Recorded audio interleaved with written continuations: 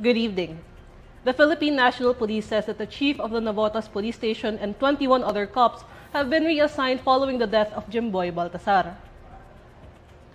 In a memorandum of the PNP, Police Colonel Alan Umipig and 21 others have been reassigned to the Regional Holding and Accounting Section of the National Capital Region Police Office. This comes after Umipig was relieved from his post following the recommendation of the PNP Internal Affairs Office. Umipig also faces complaints of dishonesty and command responsibility as well as administrative charges with the 11 other police officers involved in Baltazar's death, as they allegedly did not follow operational procedures. On August 2, Baltazar was killed by Navotas police who mistook him for a suspect they were pursuing. Tollway concessionaires are set to conduct a two-month dry run for contactless payment starting September 1. The dry run for cashless transactions using the RFID stickers will cover North Luzon Expressway, Subic Clark Tarlac Expressway, Cavite Laguna Expressway, and the Manila Cavite Toll Expressway C5 South Link.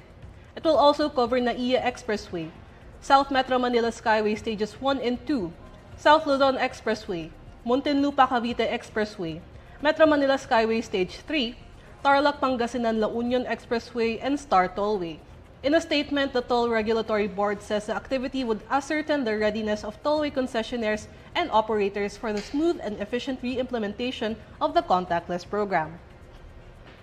President Bongbong Marcos says the relationship between the Philippines and Japan has evolved to include agreements concerning security and defense, according to Malacanang. The chief executive made this statement in a meeting with Komeito Party Chief Representative Yamaguchi Natsuo in the palace on Wednesday.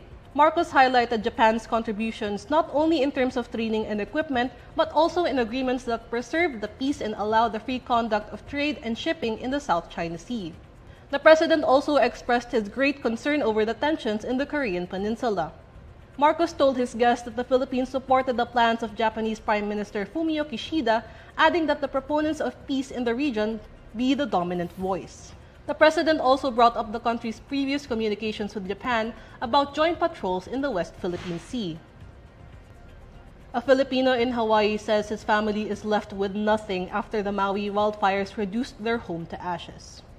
June Carlo Santos tells Inquirer.net that he had wanted to return to his house to see if he could salvage anything from the fire, but was left empty-handed. Kahit paano gusto ko may masave or makita kahit ano man lang. Pero dumating ako sa bahay, sa site, sa buong town talaga, talagang lahat sunog. Mga sasakyan, appliances, everything down, walang natira talaga. Santos recalls narrowly escaping with his family from the wildfires, bringing only his two dogs some clothes, and his baby's milk. He recounts feeling the heat from the fires and how it was getting hard to breathe. Santos and his family eventually sought shelter at the hotel he works at. The wildfires that devastated parts of Maui have killed at least 110 people, according to Hawaii's governor. Santos says even if nothing is left of their home, he is grateful his family is safe. Um, mixed emotion pa rin talaga na hindi pa rin makapaniwala na nang ganun nangyari nakakalungkot lang din every time na maalala mo lang experience na like we almost died. Kala mo yun na talaga, na nakakaano lang talaga, nakaka-trauma din na um, every time na maisip ko yun. Pero every time na naisip ko yun, talagang um, pinaback up ko na as long as we're safe, kasi material na bagay, mapapalitan yan as long as lahat ng buhay kami. Ayun, di, di mapapalitan kasi yun. yun. Cebu City has declared drag artist Pura Luca Vega persona non grata. During its regular session on Wednesday, the Cebu City Council passed a resolution declaring Pura Luka Vega as persona non grata. The resolution was penned by Councilor Pastor June Alcover Jr. There were no objections to its approval during the session. In his resolution, Alcover described Vega's controversial performance as offensive. Vega had performed a remix of the Ama Namin dressed in a Black Nazarene-inspired drag costume. The councilor adds that Cebu City is also the first local government in Central Visayas to impose a persona non grata upon the artist. Multiple localities in the Philippines have declared Vega as persona non grata following the viral performance. Vega previously questioned these declarations, saying the localities did not understand the intent of their performance.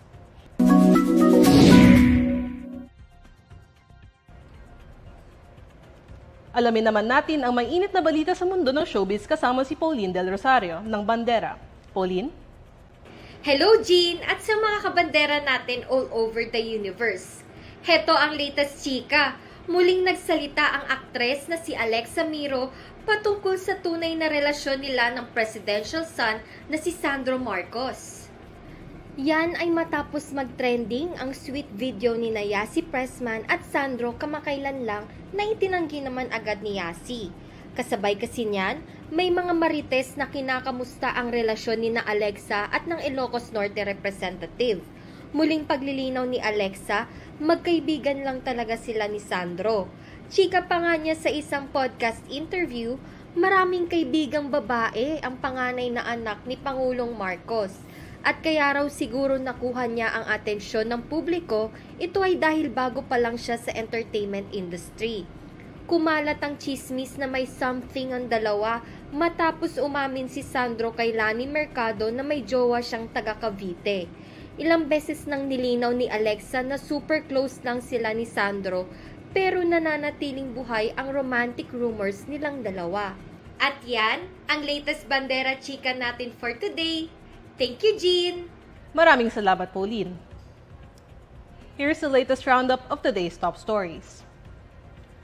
Tollway concessionaires to conduct two-month dry run for contactless payments starting September 1. PNP says the chief of Navotas Police and 21 other cops have been reassigned following the death of Jemboy Baltazar. And Cebu City joins in declaring Pura Luka Vega as persona non grata. And these are the stories you need to know today. I'm Jean Mangaluz. Follow Inquirer.net on Facebook, Twitter, YouTube, TikTok, Instagram, and Reddit. For more stories, visit Inquirer.net.